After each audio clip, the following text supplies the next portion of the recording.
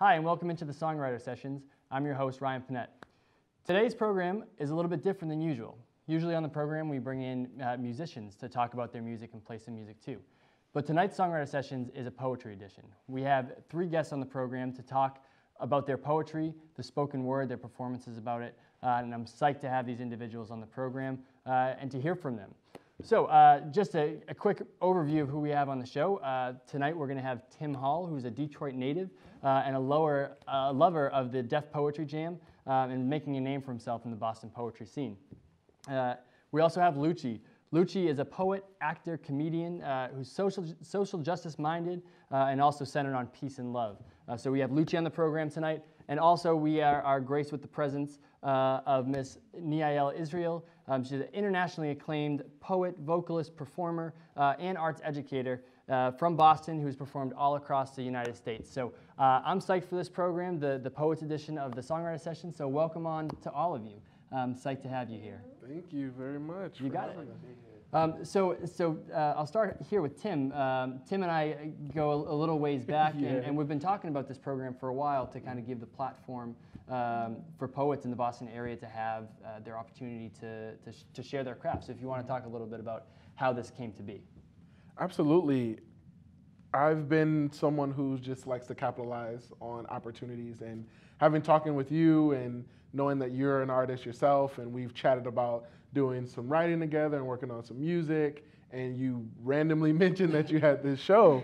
So I figured why not see if you were interested in doing something um, with poetry and, and putting together uh, an opportunity to showcase poetry as an art. And as I was thinking about it more and more, originally it was um, me thinking about, oh, how do I showcase some of the things that I've been working on and, and really introduce myself as a, as a poet I've, I've never really considered myself a poet until recently, so it feels really good to have been working on my craft and to have something to, to share with others.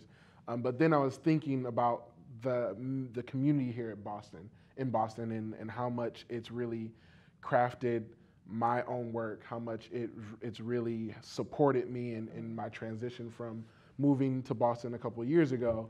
And I really thought it would be a perfect opportunity to showcase um, individuals that I look up to actually in the city uh, sure. who are poets and um, yeah, so it was just a really cool opportunity to take advantage of. And now we're here, and, and, you know one of my favorite parts of running this program is to give you know give the audience and, and give the opportunity to be able to, to share your craft with people. Um, so you know I kind of want to jump into, and we heard a little bit from Tim, but uh, for the two of you, just a little bit background about yourself and uh, and your your poetry uh, you know, the, the short history of, of your, uh, your poetry.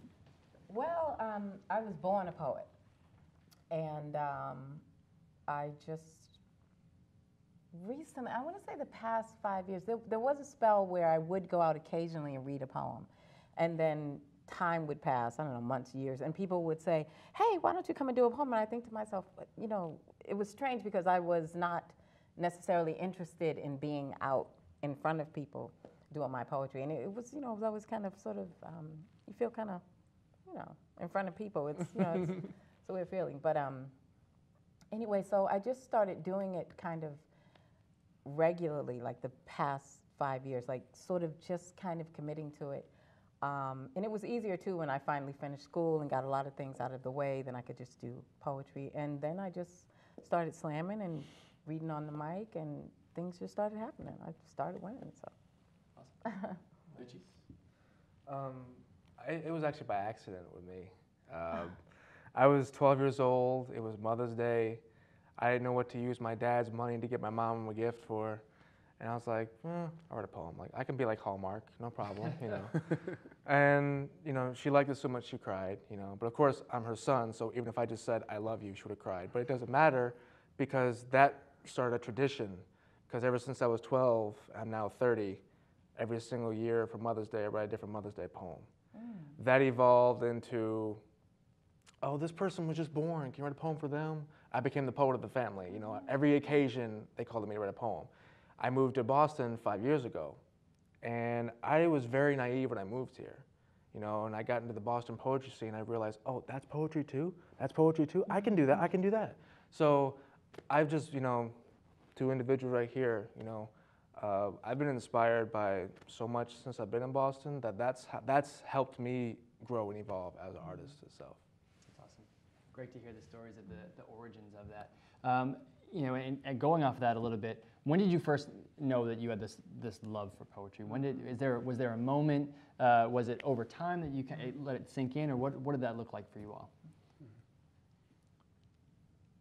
I remember sitting in the cafeteria during the orient the week long orientation period of undergrad, and I was attending Berk, Bowling Green State University, um, and sitting there, and I just started writing. I was really emotional.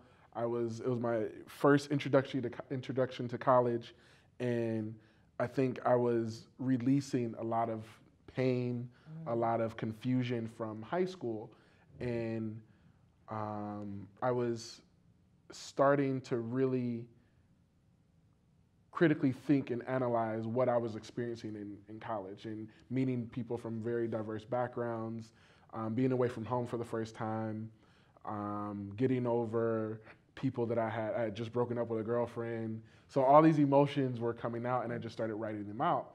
And it was interesting because I would start to play with imagery and play with the way I utilize words to express how I was feeling. I was like, oh, this is pretty cool. I, I guess I can add this and rhyme this, and I can add this line, and it'll it'll give someone the picture of me doing this, and it means this. And I think metaphors started to really come out from that, and I and I got the courage to read something in my um, scholarship cohort, and it, I think it kind of bolstered from from that. I started to write more. I used my writing to apply for book scholarships and um, just realized that that was a really cool platform that was different than me as a musician. And having been a musician my entire life, being on a stage with an mm. instrument is super easy mm. for me to, to do. Whereas being on stage with my words is so much more vulnerable, I Sure. feel, for Yeah. myself. So that's, I think, where it started. I love the way your eyes smile when your freckled cheeks resemble the shape of the letter U. How the sound waves from your laughter pinball against my skin, causing an eruption of euphoric goosebumps. You hypnotize me with your hips. Like the walk of a queen in full stride, you are a woman. You are beautiful. You should be honored. You should be valued. But no, not values like the price tag of a slave in third world countries or just another notch on some guy's belt that you met last night at the bar and far from okay. Is it that men have deemed you just another lay? But just as upsetting as you devaluing yourself, see, women trade insults like 10 year old boys trade baseball cards. It's so hard to see figures on TV that resemble misconceptions of truth. False advertisements brand images of self objectification onto the tongues of little girls so when they speak to one another, they disfigure each other with everyday conversations that leave deep impressions and foster roots. So stop it. It's disgraceful and I don't like it, and neither should you, because you are a woman. You are gorgeous. You are intelligent. You have power in the privilege that you hold. In a group of 26 individuals, the letter U is the most important. It's ownership, empowerment, and it can push insecurity out in the open. So I ask you, what are you going to do next? Because if beauty is in the eye of the beholder, then nothing or no one can stop the beauty in you. Very cool. I wrote my first poem at six. I'm pretty sure I was six years old. Um, it was a family friend. He was also a professor. And he uh, would tutor my sister.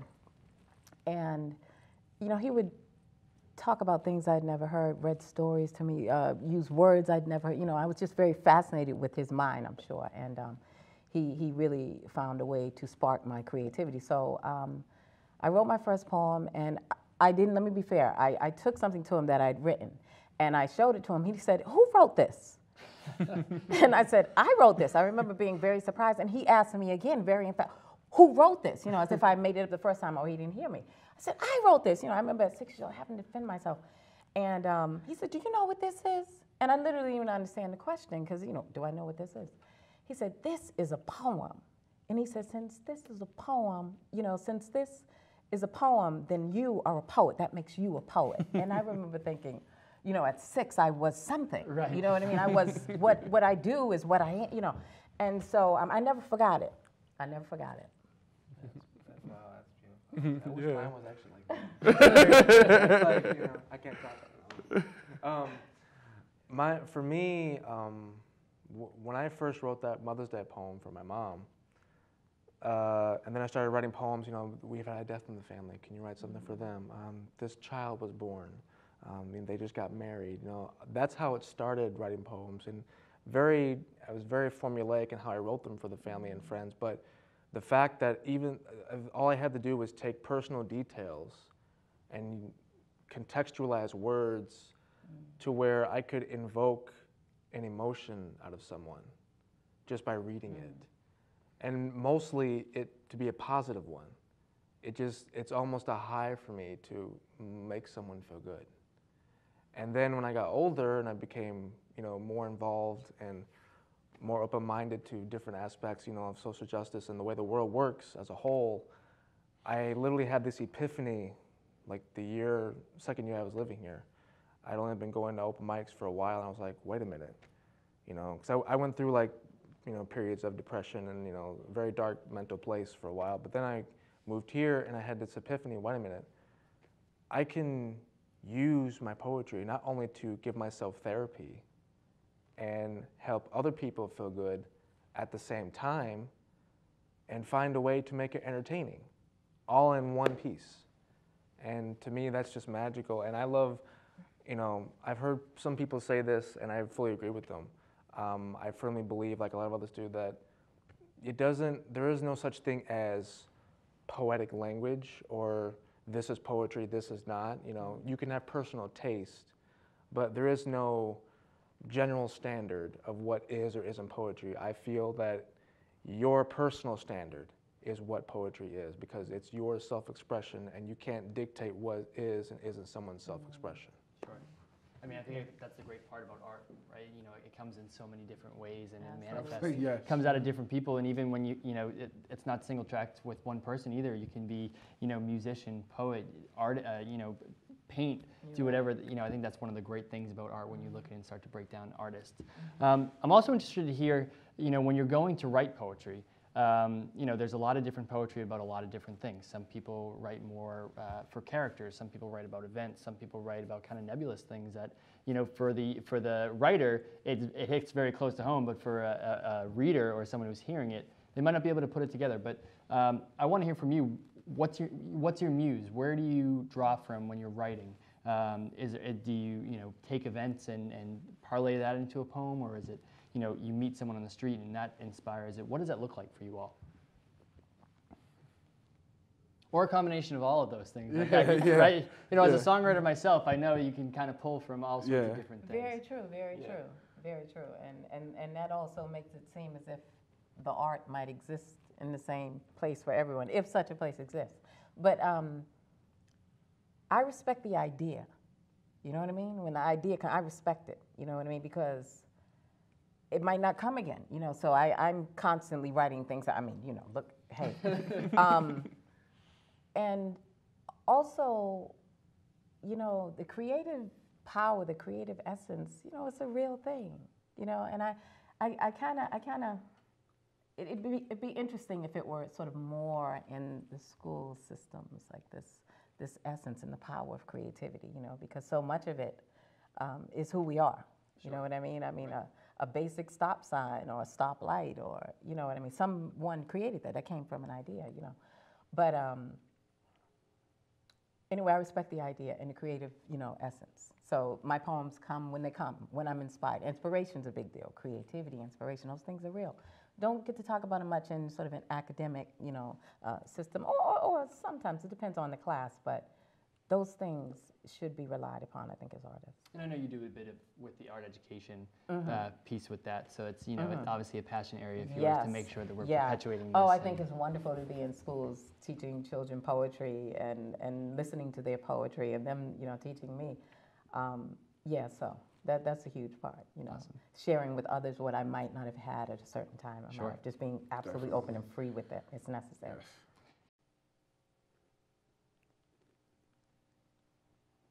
You can be my poetry paper,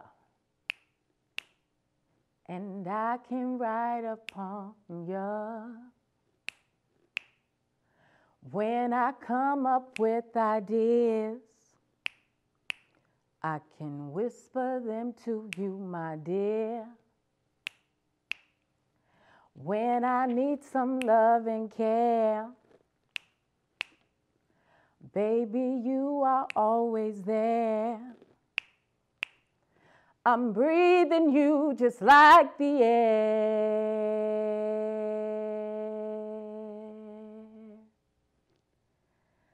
I never had a love like this.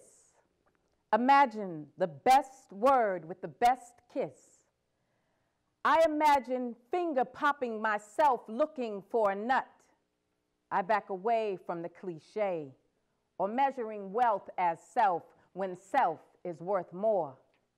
Matter of fact, when the words stream from my pen, no beginning, no end, I am forced to acknowledge the comfort of an ink spot. Life linking out of my pen, laying seeds on a page. I realize I am in love. The ink smells toxic, but the idea is intoxicating. I was born a poet. I have chosen my pen over all my lovers. My pen broke my cherry. You can be my poetry paper and I can write upon you. When I come up with ideas, I whisper them to you, my dear. When I need some love and care, baby, you are always there. I'm breathing you just like the air.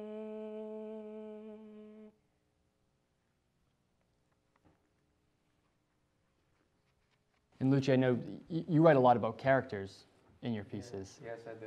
Um, some some characters um, I create on my own, um, and I implement uh, social justice impl- uh, aspects of their life. And I'll write sometimes two to four, maybe more parts to the character, because I'm almost like a screenwriter. You know, like each poem is an evolution of that character's mm-hmm. life, and you hear firsthand through them what they experience. And not everyone has the same story. And I like to just try and make okay how can i make this different from what the average person might go through or how can i make this exactly what might someone might go through so there's ways to develop sympathy and or empathy um, and i also do characters sometimes um, i do impersonations sometimes too so sometimes they're funny you know like stewie griffin from family guy you know like oh my god you know but you know or like you know baby you water boy you know you know like I mean, those are, those are my first two like funny pieces, you know. But then I just sometimes every Halloween I do a character piece that's a scary one, like and in makeup. So two years ago I did the Crow in makeup and kind of freaked everybody out because I had the hair and everything for it, and just had to shave. This past year I did Heath Ledger's The Joker. That one I had a lot of fun with because oh, I, I enjoy characters themselves. Like I'm a huge movie buff. That's why I'm also I'm an actor because mm. I love the I love the uniqueness in a, in a character to where no one else knows that mind except that person. Hmm. Because we don't know, no one knows our mind like we know our mind. Mm-hmm. So if someone else tries to tell you what you think or how you think it, you say, no, this is why, because I'm me. So with a fictional character, it's even better because you can play with it and have fun with it, and you're not really harming anybody. Sure. You're just impersonating, Right. you know. And that- The Heath yeah. Ledger one, that one gave people chills because I was, because what I do is I'll take like implements, uh, I'll take aspects of their dialogue from movies, and I'll organize it to a direction that the movie or TV show didn't take them. So they'll be hearing what they're used to hearing, but not the reason why. And so it's fresh, but the same at the same time. That's, That's really a little cool. bit into your coin term as yourself as a, a Paxtermedian. Uh, the, Yeah. the, the, the, the poet, the actor, and the comedian kind of all laced into one as we. Uh, as we Yeah, I actually heard it. researched that. To I actually researched that term to, to try and make sure no one else came up with that yet. M- s- may- Some people may have thought of it, but to my knowledge, no one's actually like publicly acknowledged it. So I feel c- comfortable because I'm those three things separately, as well as with my poetry pieces combined together. Great. My name is Lucci. Not to be confused with Gucci or mistaken for Hoochie. I am a man with a duty that might eventually force someone to sue me. If anybody can prove me wrong, I beg of you to prove me. I've never been shy to admit I was wrong, just as long as we don't argue like a radio playing the same songs. My name has five letters L U C C I. Each and every letter has a purpose I go by. Even though I wisely know I'm not the wisest, I can honestly say that I tried to be wise. The first letter is L, stands for listen. Because I choose to listen to the blues of the smitten who've been written into non existence. I also listen to indifference and the happy. I don't care if the stories are scrappy, snappy, or even sappy, or if the nature is a major wager full of danger. You is to understand. Whether you're a woman or a man, I want to understand chances of circumstances getting better or worse. Did you get the job letter? Or were you cursed with a hearse? Understand doesn't mean justify, but it can let you know why they will or won't testify. Letter number three happens to be C, stands for care. I care about anyone and everyone, anything and everything. You're a snob who's a con man looking down on a slob for a regular job? Ignorantly full of hate and doctor with every play in the way of debate? The love of my life are the first to pull a knife. Next letter, another C. Consider. I have sedational consideration for the suffering who continue to buffer just to benefit another I could care less at the expense of a slave mother. I have consolational consideration for an animal or human, born to the shores of life they never asked for, taught from the core, close the door on the poor, keep asking for more and more. Letter number five is I, inquire. I inquire about the fire and ice within the tire, the wire, the dire, put on a flyer. I don't care, whatever it is, I still inquire for my knowledge to grow higher. Racially, socially, sexually, religiously, politically, historically, economically, even futuristically, I still inquire. Everybody has a story. Here's mine. Southwest Detroit till I was 14. Picked on and bullied just for being me. Awkward and shy, as well as mad and sad. Unnecessary drama at home to feel even more alone. Experiencing images of interracial harmony until I kissed a different race but couldn't do so comfortably. Forced to look over my shoulder by people I loved and hated by hatred I thought was outdated. Down south to Tennessee and Georgia. At the time, for me, compared to the D, I wondered if blacks are really free. But now I'm in the bean where I see bigotries everywhere you can possibly stare. But too many people don't seem to care. So now that I'm older and developed a mind, I realize I can't go back in time for justice mountains to climb, not only with racism, but sexism. All my life experiencing images of women who claim nice guys finished last. That's because we couldn't get past the master of lying and conniving who wishes to cast them into a role of a hoe with the weak to weak limited cast.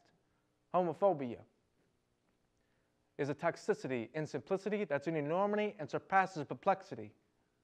I see a society full of judgment, whether it comes to superstitions of politicians with oppositions to peaceful and loving compositions, or individuals with animosity toward the generosity of those from another mother, and even some from the same mother. By the way, as I write this, infinite innocence are having infinite innocence taken away just for the taking. Every system, every country somehow corrupt and broken. By no means am I a saint, but compared to the needy and greedy in the towers of power, I feel like a token. So I'm telling you, I have thoughts and wishes like a door revolving around peace and love. A solution with no institution of a revolver to evolve to this conclusion. I'm listening, understanding, caring, considering, inquiring. Not to be confused with Gucci or mistaken for Hoochie, my name is Lucci.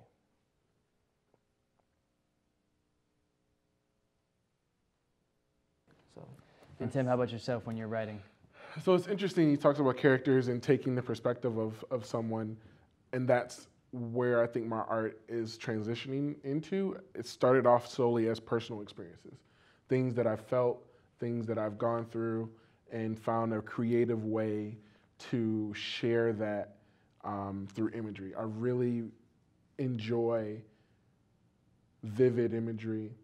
I enjoy writing pieces that are simple enough for someone to get it if they've never listened to poetry. If they're not someone that normally goes to poetry or, or is into, into poetry, I really like to make it something that they can understand because that's how I understand. There's all different forms of poetry and literature, and um, I've always struggled with writing. I've always struggled with reading and literature. So that was always something that um, I knew that I wasn't the only one that struggled with, with, those, with those types of things. So I wanted to make my work an opportunity and accessible for individuals who may not understand some of the more intricate and, and um, in, intricate literature and poetry that um, it may take you a while to sink in and, and understand. So moving from the personal um, draws of, of my work into realms where I'm trying to articulate what someone else may have gone through, what a woman may go through in, in this scenario, what um, uh, someone who is um, disabled may go through in, in the scenario. And, I'm, and I try to really understand, I'm trying rather, to understand and, and add perspective um, to that to share with other people. And it's, it's an amazing feeling when someone comes up to you and say, wow, that impacted me this way. Or thank you so much for that. I needed that. Or could you send me a copy of that piece because I, I feel like I need that. Or I needed that because I've gone to so many people and done the same thing to musicians, to artists, and to poets where I'm just like, thank you. Thank you so much for what you just did. Um, it is the greatest feeling to know that you're able to contribute positively to a space like It's that. true. Oh yeah. I think it's a really great way. Also, I just want to add on to that. Um, Mhm. That the best part about it is that when you can gleefully acknowledge, not just to yourself but to the world, you know what? The world doesn't revolve around me, and I know this. This is me showing it to you. You know. Sure. We just have just a, a couple minutes here left, but I wanted to ask some questions about uh, some individual experiences. Um, Neiel, I know you um, are involved with the Lizard Lounge Yes. um, slam poetry team, Yes, and I'm you on the national slam team. on the national slam team, and. I and, and I from what I hear, uh, you are In the finals. You're in the finals. April 19th. So congratulations Yes. on that. That's, that's Lizard. It's a lot of fun. It really is a lot of fun. So know. how do you get how do you get in, you know involved with that? Is it just I just kind of stumbled, you know, into slamming. But um, you mean people in general, if they want Yeah, to slam, yeah. if they want to get involved, just come down and slam on an open, you know, Sunday when there's a slam. Just come and bring your poems and go for it. You know what I mean? Share your poems. sure? I keep trying to get. segue. That's exactly what happened. I started when I moved to Boston. I was trying to find a place, a community. I, I really was struggling with, with Boston in the in the area, and I was like, you know, where can I go hear live music, and where can I go find an open mic for poetry? And Lizard Lounge, Cantab Lounge were the first two things that people told me I had to go to. And as soon as I stepped into Lizard Lounge, which is in Cambridge, um, I was like, yo, this is a dope a lot of fun. space. Yeah, it's a lot I love this. And then you see these individuals getting up on the stage Yeah. and you're mind blown. You're like, wow, I love this. And you meet individuals. I met them both at, Yeah. at Lizard Lounge, and they look out for you. Yeah. They they they see you again and again and again, Right. and they ask you about yourself, and they they encourage you and they push you. So because of the Lizard Lounge, because of the poetry community, this is able. This was able to. I was able to Yeah. to, to, to make this happen. So Right, and talking about community, I know Lucci, uh, Yeah. talking about, we were speaking a little earlier about art without, uh, art without ego. Um, so if you can talk uh, just a little bit about that. Oh yeah. Um, well, I moved. I moved to Boston five years ago, and you know, everyone. I've been inspired by so much. You know, just as Tim has. You know, and I'm sure Neiel is as inspiring as she is. I'm sure she's inspired sometimes too. Oh, You know. Are you kidding me? Yeah. So, um, but I've I, one the common thing I've heard. And it's not just in Boston. I've heard this in other places too. But I've always heard from some form of locals somewhere. You know, no one supports each other. No one supports each other. Everyone's out to get me and nobody else. And I was literally just resting from work one day in my bed, and I was just thinking, you know, what if I made a Facebook group to where people can have the freedom to display what they want, promote events of their own, uh, you know, help promote other artists if they know them. And I just started, all the artists I knew that I was friends with on Facebook, I just, I created the group and I was like, you know, AWE, Art Without Ego, because I named it that because um, one, at the end of the day, it's not about us. You know, it's about the art itself. You know, I mean, of course, you can say if you have a purpose for your art, that can be for an individual thing. But at the end of the day, art is still art, and it will always be art. Whether you contribute to it or not, other people are going to. Right. So I created the group, and there's almost there's close to 700 members. Awesome. Um, if I don't beat an artist close to them, if I don't if I don't beat them to sharing their stuff in it first because I like it, you know, they're at their own free will. They have their own free will to share as much of it as they want. Sure. That's awesome. Well, unfortunately, we are out of time for the program, but I want to thank you all so much for coming on to the program. It's great hearing about your artistry and your experiences as poets. Um, and I, you know, I hope that our, our, our, our viewers, you know, look you up and, and see when the, those performances are happening because, you know, um, as we saw here today, it's a, it's a great take. And, and again, very much appreciate you coming on. Uh, and for all of you out there, thank you for watching the Songwriter Sessions, the Poetry Edition. Uh, and we'll be back real soon. Take care.